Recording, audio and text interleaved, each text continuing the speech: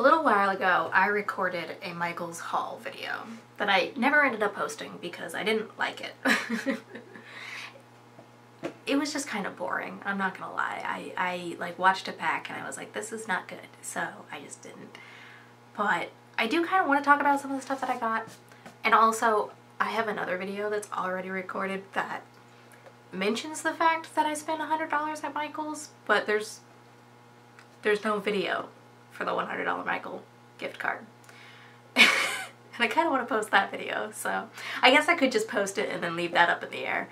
I'm, I mean, my, my videos are already full of continuity er errors. It's fine. but yeah, anyway, I spent $100 at Michael's using a gift card that I got last year sometime because I am bad at things.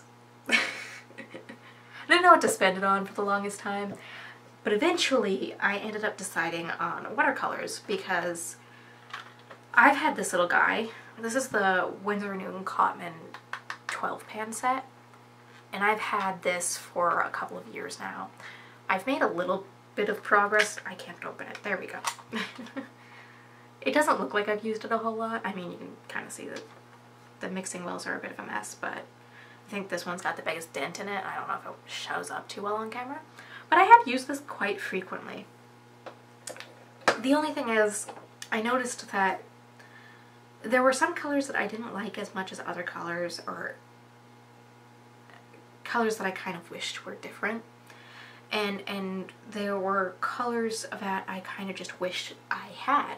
Uh, namely purple. I ended up using purple a lot. I like painting flowers, so I guess that kind of makes sense.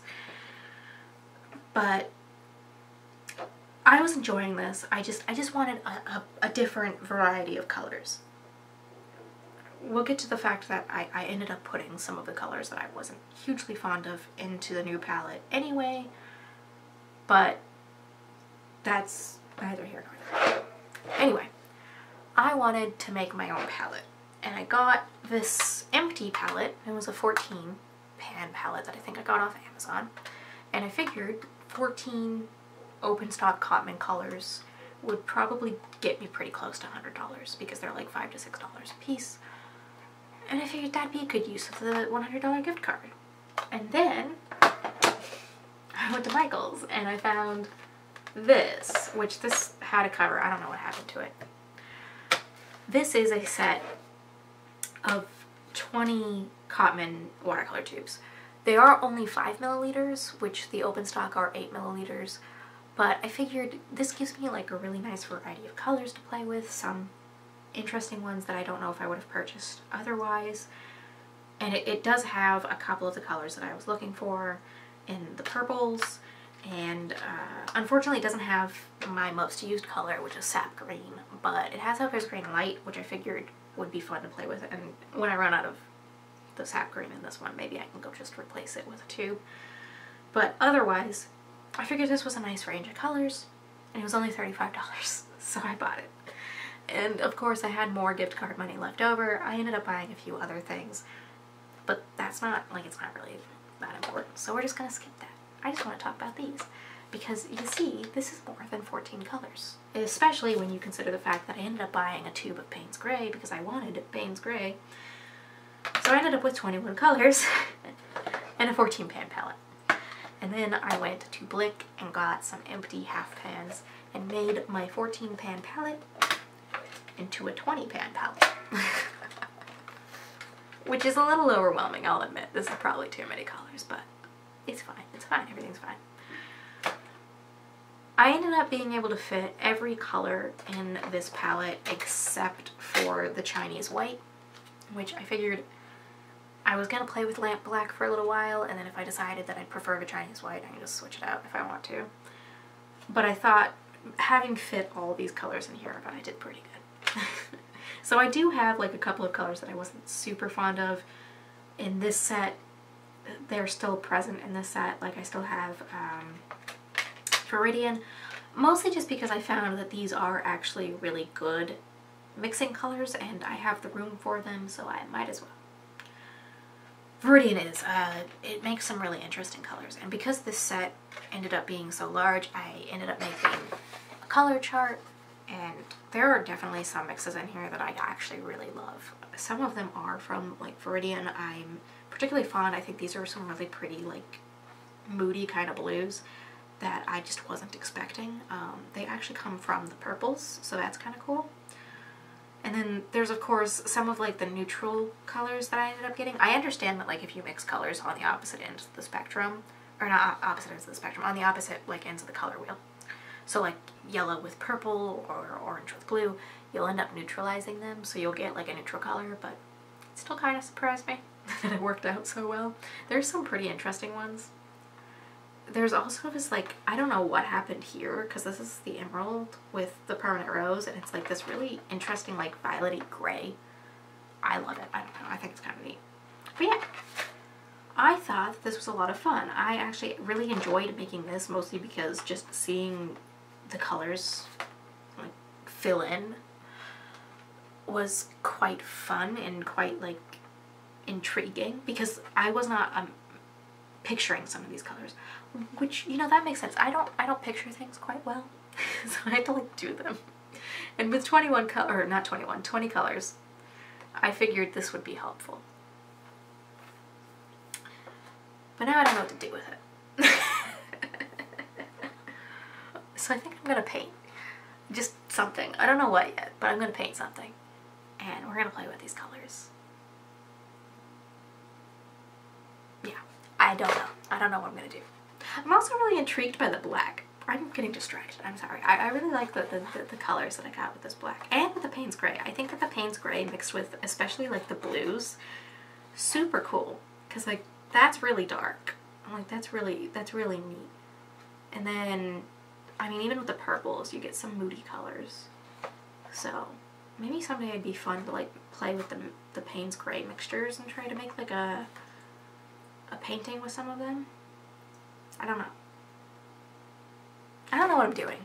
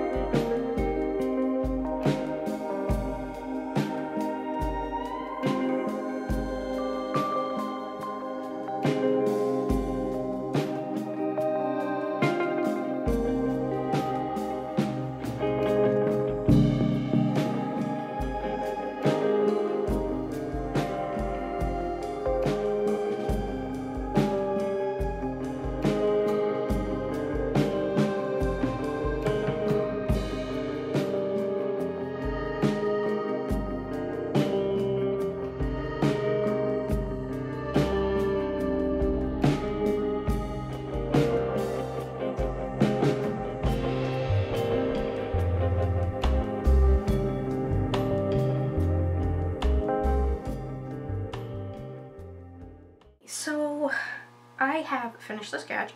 What I think I'm going to do is I'm going to use my kneaded eraser to lighten it a little bit and then I'm going to ink it in and then we will paint. So let's get into that.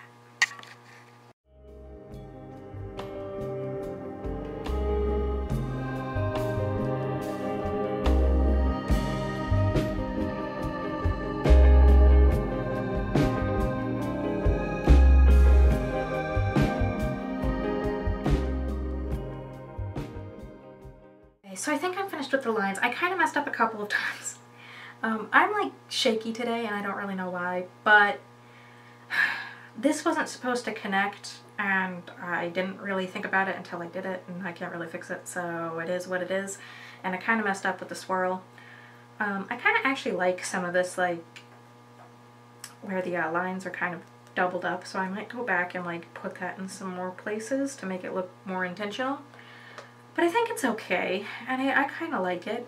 And, I mean, I already traced it. It's a very loose trace, so if I want to, I can go back and redo it at some point. Probably not today because I am shaking, so I don't think I'm going to get any better lines. But if I ever want to redo it, I have it on this piece of paper, so... Otherwise, I'm quite happy with it. I know that neither, neither of them have pupils. I'm thinking I'm just gonna leave it like that because personally I don't think I'm gonna be able to get that detailed with how shaky I am today. Um, and also, I kind of prefer it to be honest. I think it's kind of fun. Um, so anyway, I'm gonna do uh, some more lines to make this look a little bit more intentional. And then I'm gonna let it dry for a little while and then we're gonna come back and we're gonna paint it. And we're gonna see how it goes. Um, hopefully the painting process will be a little bit less uh, painful for me because uh, it'll be looser, I think. I'm not gonna do anything too, like, sophisticated, I guess. I don't know. I'm thinking just like flat colors. I haven't quite chosen where I'm gonna go with it, but we shall see. And like I said, I have the tracing if I ever feel like redoing it at some point. But let's let's uh, fix some of these lines.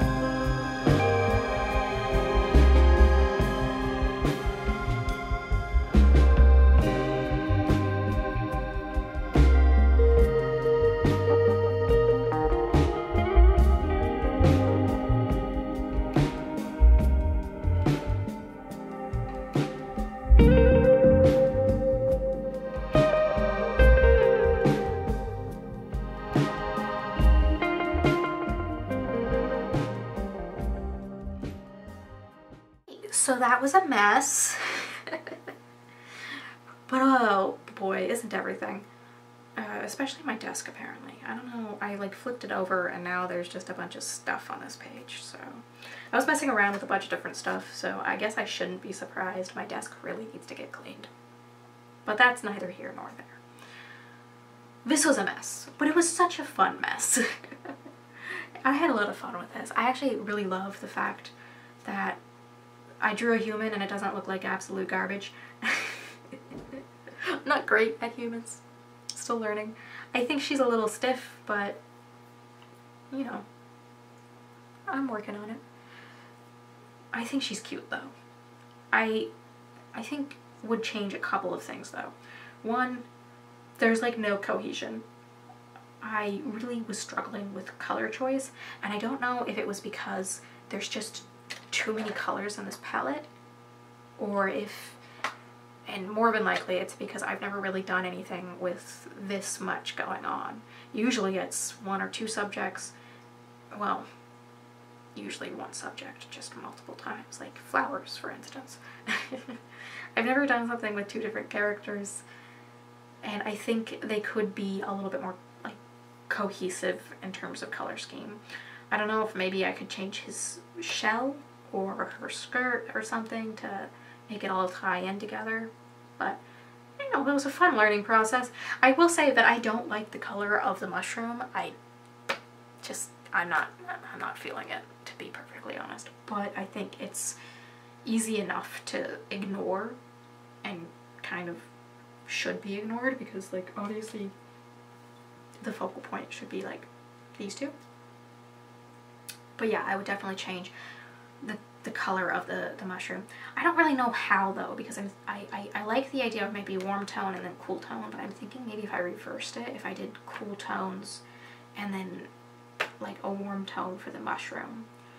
Or maybe if I did just everything a little warm toned and then I could put a cool tone back here. That might work. Because then I could do, I could do a red mushroom which I think would be cute and do like the yellow skirt and change the shell to be yellow and then have like a blue background. And then you'd have the cohesion between these two, a little bit of a different color for here. And then the yellow would work too with her hair. I think the green kind of works because they're both a little green. Maybe if he were greener or if this leaf were closer matched to that, that would also help. But yeah, you know, stuff to think about. I'm not going to bother coloring this one in just yet because I, I really don't know what I want to do with it if I were to color it in. But it's, you know, maybe if I decide on a color scheme, I might try coloring this in. Otherwise, this has been a lot of fun. I really do love this palette. I think it's going to be a lot of fun to work with. And I love this color sheet. I thought that this was going to be so annoying to make, and it kind of was, but it's so handy. Because like I just, when I was make, making this, I had this propped up and I was just kind of like picking colors from it that I thought might work. And I mean, obviously it doesn't really, but that's on me, not the color chart. The color chart's very handy. Anyway, this is, I don't know, it's not my first foray into watercolor, but I'm still definitely learning. It's not, not a medium I'm super super familiar with, but definitely one I'm, I'm going to keep trying to use and getting better at. Anyway,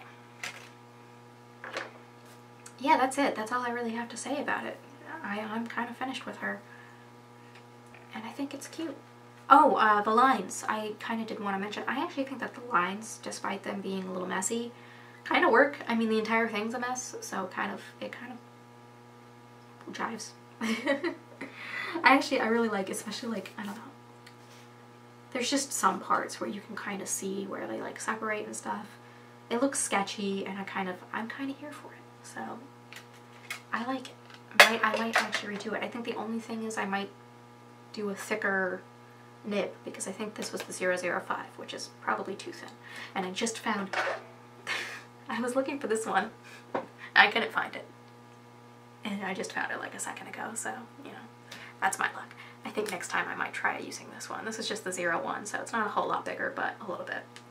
So, I don't know. We will think about it, and by we, I mean me. I will think about it and see what happens. Otherwise, that's that. That's all I really wanted to do with this video. I really wanted to just show off my colors, my, my watercolors. I had a lot of fun making the palette and filling it in, and, and I'm looking forward to playing with it. Hopefully it'll make some more appearances. We shall see. Anyway, I'm done for now. I'll stop talking. Thank you so much for watching. Uh, if you liked, like. If you want, if you would like to, subscribe. I don't know. I'm not in charge of you. You can do whatever you want. Thank you so much for watching. Bye.